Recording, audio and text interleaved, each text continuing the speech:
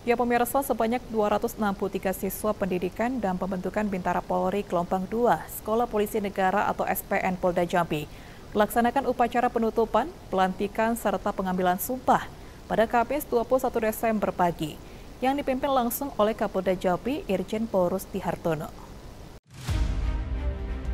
Kapolda Jambi Irjen Pol Rusti Hartono pada Kamis 21 Desember 2023 memimpin upacara penutupan, pelantikan dan pengambilan sumpah pendidikan dan pembentukan atau Diktukba Bintara Polri tahun anggaran 2023 bertempat di Sekolah Polisi Negara SPN Polda Jambi. Pada prosesi upacara tersebut, Kapolda Jambi melantik sebanyak 263 Bintara Polri gelombang 2 tersebut. Dalam kesempatan tersebut, hadir sejumlah pejabat utama atau PJU Polda Jambi, di antaranya Irwasta Polda Jambi Kombes Pol Janus Perlindungan Siregar, Kepala SPN Polda Jambi Kombes Pol Edi Setianto, serta para pejabat utama Polda lainnya. Kapolda Jambi membacakan amanat Kalimdiklat Polri Komjen Pol Purwadi Arianto.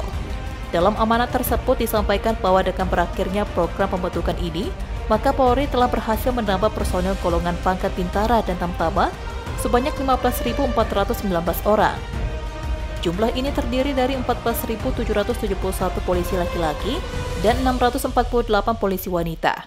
Jumlah tersebut terbagi dalam 13.226 bintara Polri tugas umum, 500 bintara Primob, 100 bintara Polair, 1.419 tamtama Primob, dan 96 tamtama Polair. Lebih lanjut disampaikan program pendidikan ini tentunya menjadi aspek penting untuk menunjang pelaksanaan tugas Polri agar lebih optimal melalui penambahan jumlah personil. Diharapkan penyebaran pelayanan publik semakin meningkat dan keadilan polisi di tengah lingkungan sosial akan semakin dirasakan manfaatnya oleh masyarakat. Penutupan pendidikan, pembentukan Bintara dan Tamtama Polri, gelombang 2 tahun anggaran 2023.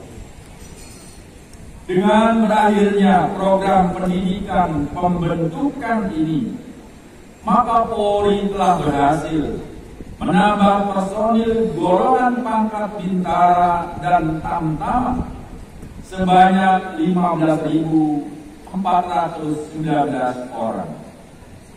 Jumlah ini terdiri dari 14.771 polisi laki-laki dan 648 polisi wanita.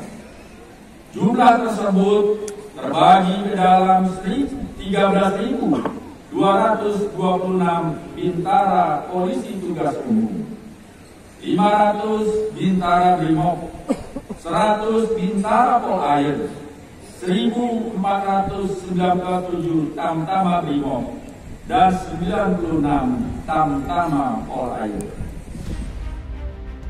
Di akhir acara penutupan dan pelantikan tersebut, dimeriahkan dengan berbagai atraksi dan unjuk bakat oleh para pintar SPN. Lina Liska, Cik TV, melaporkan.